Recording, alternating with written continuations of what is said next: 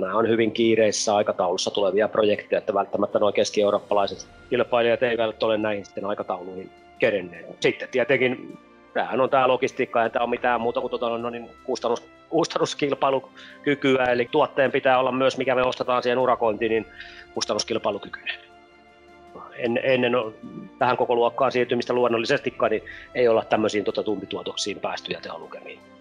Siis tota, meillähän on tiettyjä kehityshankkeita myös Manttisen kanssa olemassa. Sanotaan nyt näin, että ei ostettaisi vain pelkkää konetta, vaan ostettaisiin niin kuin enemmänkin semmoinen tota, tapa toteuttaa työt tehokkaasti ja se, että siitä saataisiin niin kuin asiakkaalle, meidän asiakkaalle päin tietty läpinäkyvyys ja raportointi.